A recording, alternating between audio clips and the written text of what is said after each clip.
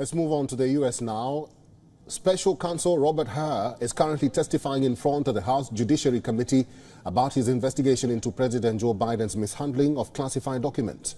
This comes after Hur's February report indirectly suggested that President Biden had failed to protect sensitive information.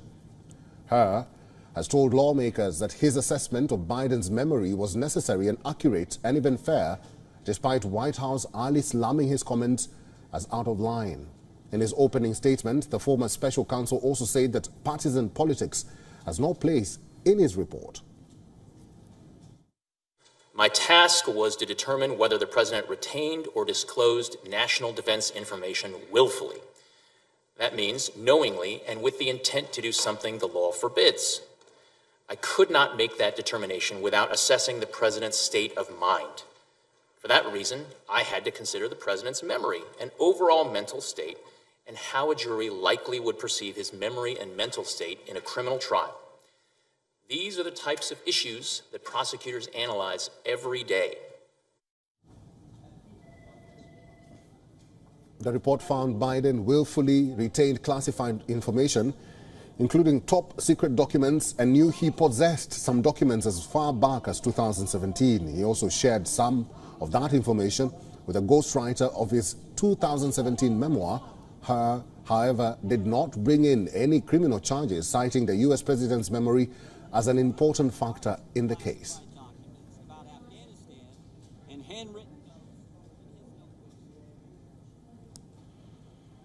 Susan Teherani is our correspondent. She is now joining us live from New York. Hi, Susan. This is what Hur has told the Congress so far, and I'm quoting him. He says that he did not determine Biden's guilt or even innocence, just that he wouldn't win a trial. He also says, I called it like I saw it. Now, there was a moment Republican and Democrat representatives sparred over the conduct of Trump and even Biden. What's the latest from Capitol Hill? Yeah.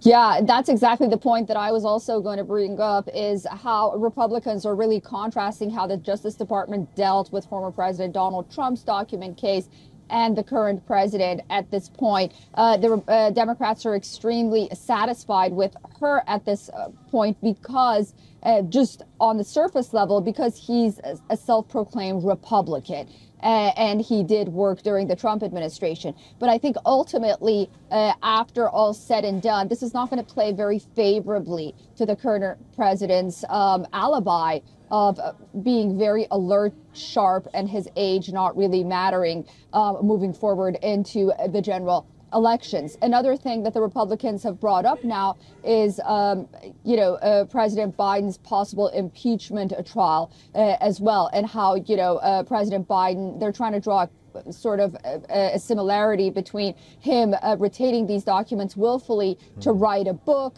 uh, upwards of $8 million allegedly, and on the other hand, you know, the allegations against the Biden family and possibly the president himself that uh, he benefited from his family businesses and his son Hunter's business dealings overseas. Of course, Hur said that I'm not here to talk about anything like that but you can see uh, where this is going and how political this is at right. the end of the day. Susan, very quickly, top uh, Democrats on Senate Judiciary Committee attacked Hur's comments on Biden's mental acuity or acuity. They say that it is gratuitous. Is that likely to be the response from other Democrats or even the White House?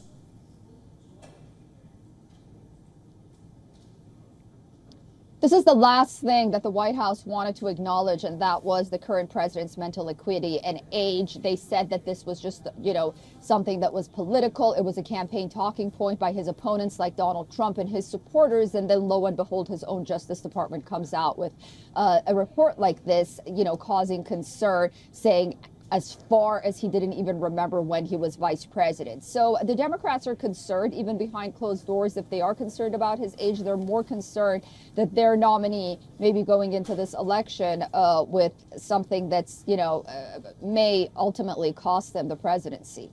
All right, I've been talking to our correspondent, Susan Teherani in New York. Susan, thank you.